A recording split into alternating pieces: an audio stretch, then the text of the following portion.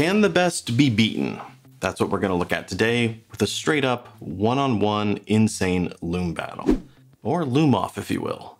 You see, on this side, we have the reigning champ, the Signum Cuda Titanium Fully Lumed.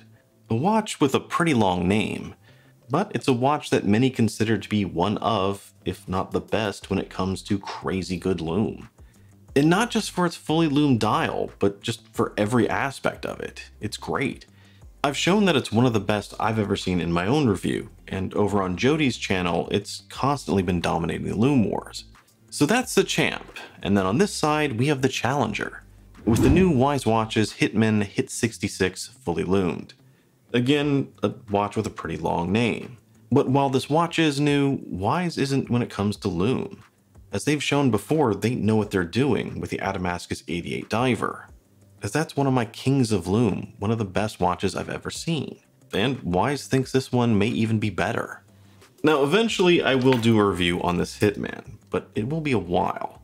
But in the meantime, if you really want to check it out, go over to Dave's channel, as he did a recent review of it. And that's actually partially why I'm doing this. Dave was thoroughly impressed with the Lume, and I left a comment wondering how it compared to the Signum. Wise just happened to see it, and they reached out wondering if I still had a Signum and if so, would I be willing to test it out? To which I replied that I do, and that that's a fantastic idea. And for the sake of transparency, the promotional tag here is up because Wise did provide this watch, and they aren't asking for it back. Well, Signum also lent in the CUDA, and it's actually going to be used in a giveaway sometime next month, so keep an eye out for that. Anyway, enough talk, let's get ready to rumble. On the left, we have the Wise Hitman, and on the right, we have the Signum Cuda Titanium.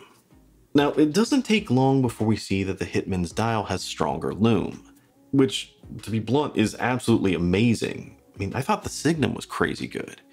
But somehow, this looks brighter.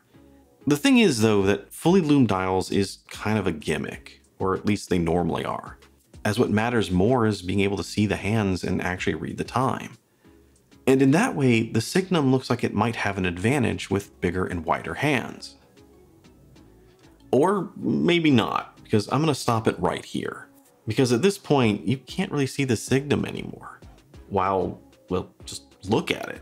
The Hitman is there and it's still fairly readable. And that is just, that's just amazing. The Signum blew me away last year, and this Wise took it down while still having some fight left in it. Now, to be fair, the green C3 Signum is supposed to be a little bit better than this blue BGW9 version. But since we are comparing it to a blue Hitman, I think it's a fair fight.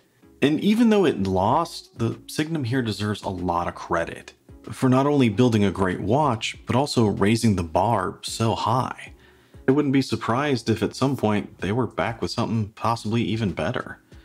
And since the Wise did such an amazing job, I just had to know how it compared to my other Kings of Lume. So I set up another test, and this time it's up against the original King of Lume, the Phoibos Great Wall, as well as the awesome Orient Star Diver, and Wise's own Adamascus 88. The three Kings of Lume that have never definitively been beaten, as well as a Seiko monster way over at the right, just as a reference to show you how good these watches really are, because that monster doesn't stay in it for long. And here, it's pretty much the same story. Whatever Wise has done with their dials is amazing. And normally, like I said, normally fully lumed dials are a bit of a novelty, mostly because they fade out much sooner than the hands and the indices. But here, that dial is so good, it actually helps you see the indices as well as the hands. So even as those start to fade, you can still make them out a little bit easier with this Wise. And I paused it right here because at this point you can see the Hitman is going to win. At this point it's pretty dim, but you can still make it out. While everything else is pretty much gone. The only thing really left standing is the hands on Wise's own 88. Although, in time, even that blinks out, leaving the Hitman as really the last man standing, and possibly living up to its name by taking out the competition. Which to me is kind of crazy, you see, the Great Wall was my original King of Lume. The first watch I really ran into that blew everything else away. And in time, I started finding other watches that were as good. And I started calling those also Kings of Lume because none of them really seemed to beat each other. or they were always so close that it was pretty hard to say one was clearly better than the other. But here, there's no question about it. This is the best watch I've ever seen for Lume, period.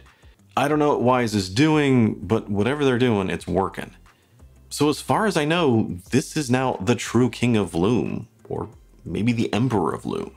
And I think Jody needs to get one of these just to do a new Lume Wars episode with it. But in the meantime, as usual, let me know what you think down below.